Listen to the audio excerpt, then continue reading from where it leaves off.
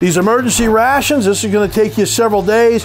If you ration it out, you can always extend your food supply. Yeah, sure. It's not what you would normally maybe eat, but in a survival situation, if you have to extend your rations, you got to think about that stuff. We have a brand new product on our website right now.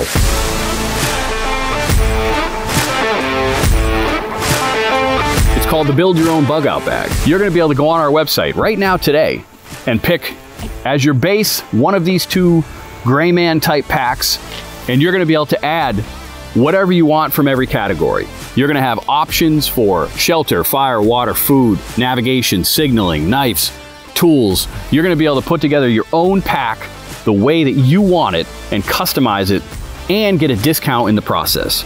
So if you guys are looking to build your own bug out bag, now you can do that on thesurvivalsummit.com. In addition to our new product, we're running a giveaway we're going to be giving away a fully loaded, fully stocked bug out bag. In this bug out bag, there's going to be everything you need for shelter, fire, water, food, land navigation, signaling, and even tools. This is the bag you can win, fully stocked. We're going to be announcing the giveaway winner on Halloween.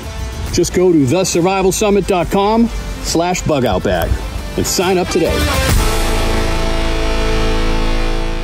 Now we're going to talk water a good old stainless steel single walled this this canteen right here you know there's some good ones out there. Klean Kanteen makes them really good ones. Yep you hear that noise? You want to make sure it doesn't sound like a, a church bell when you ring it like it's echoing. If it's echoing it means it's a double wall canteen. And when you start to heat water up in that thing and they're designed to keep whatever's inside there either very hot or very cold uh, there is a possibility that that pressure between that wall will build and it you know could explode on you. You don't want that kind of a problem. But the thing I like about this system is I can heat water up in here. I can heat water up in this cup. They slide together, easy to carry.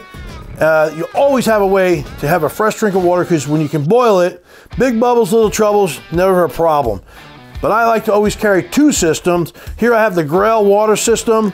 Uh, this is a really good GeoPress, they call it, to press the water out. The filter's on the bottom and you have a clean drink. It's very easy to use. You fill up the one container. Uh, that is a great system. So I got two systems to get a drink of water and carry water. Because in a survival situation, you know, dehydration, man, that's not good. And I have a backup system too. I have this uh, Sawyer Squeeze. Sawyer's a very popular system.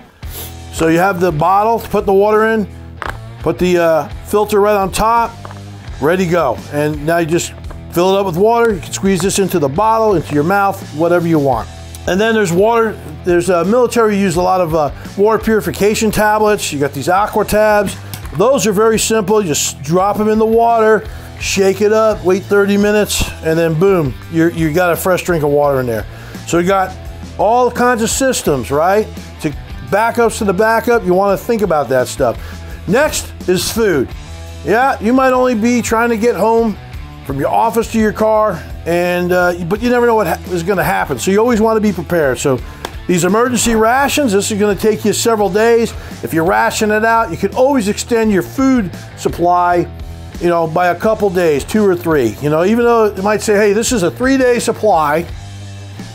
If you cut that in half, you just extend yourself to six. Yeah, sure. It's not what you would normally maybe eat, but in a survival situation, if you have to extend your rations, you got to think about that stuff for the long term. We got energy bars. They're really good. Quick burst of energy.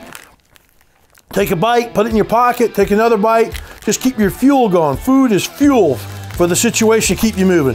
Granola bars, you can have trail mix, and these hydration powders are awesome for getting electrolytes back in your system, getting salts back in your system, which is critical for your whole body to work properly. So you're talking about functioning right, you know, water, food, it fuels the body, keeps you hydrated, and keeps you in the fight.